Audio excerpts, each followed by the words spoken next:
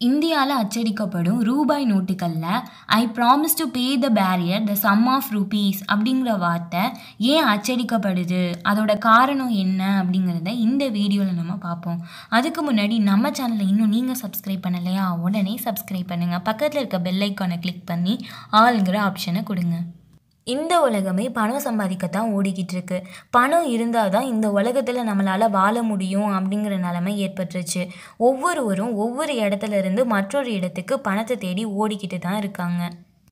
நாம் பணத்தை கொடுத்து நமக்கு தேவையான பொருளை வாங்கிக்கிறோம். அதே நேரத்தில் நம்மளோட உழைப்பை கொடுத்தும் மற்றவருக்கு தேவையான பொருளை கொடுத்துட்டு பணத்தை வாங்கிக்கிறோம். இப்படி பணமானது ஒருவர் கை மாறி ஒருவருக்கு போயிட்டே தான் இருக்குது இந்தியாவில் ஒரு ரூபாய் முதல் ரெண்டாயிரம் ரூபாய் வரை அச்சடிக்கப்பட்ட பணம் பரிவர்த்தனையாகி வருது. ஒரு ரூபாயை தவிர மற்ற எல்லா நோட்டுகள்லையும் ரிசர்வ் வங்கி கவர்னரோட கையெழுத்து இருக்கும். முன்னாடி எல்லாம் ஒரு ரூபாய் ரெண்டு ரூபா பணமாக இருந்தது ஆனால் இப்போ கிடையாது. ஒரு ரூபாயில் மட்டும் இந்தியாவின் ஃபைனான்ஸ் செயலரின் கையெழுத்து இருக்குமா?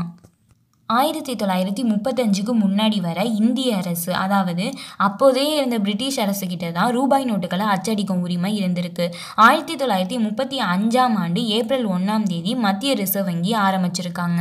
ஆயிரத்தி தொள்ளாயிரத்தி முப்பத்தி நாலு ரிசர்வ் வங்கி சட்டப்படி ரிசர்வ் வங்கி தான் ரூபாய் நோட்டுகளை அச்சடிக்கும் உரிமையை வாங்கியிருக்கு. அதன்படி மும்பையில் ரிசர்வ் வங்கியோட தலைமையகம் அமைச்சிருக்காங்க.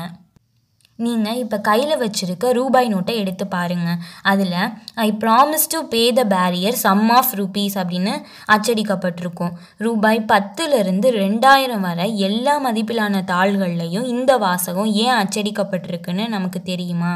இதை கட்டாயம் நம்ம எல்லாரும் தெரிஞ்சுக்கணும். ரிசர்வ் வங்கி ரூபாய் நோட்டுகளை அச்சடிக்கிறதுல சில விதிமுறைகளை பின்பற்றுது. அதுபடி ரிசர்வ் வங்கி எவ்வளவு மதிப்பிலான ரூபாய் நோட்டுகளை அச்சடிக்குதோ அதே மதிப்பிலான ஏதாவது ஒரு கையிருப்பை வச்சிருக்குமா? உதாரணத்துக்கு தங்கத்தை எடுத்துக்கலாம். இன்னைக்கு ஒரு கிராம் தங்கம் ரிசர்வ் வங்கிட்ட இருக்குன்னா அதுக்கான பணத்தை அச்சடிக்கும். நாளைக்கு தங்கத்தோட விலை ஏறும்போது மேலும் ரூபாய் நோட்டுகளை அச்சடிக்கும்.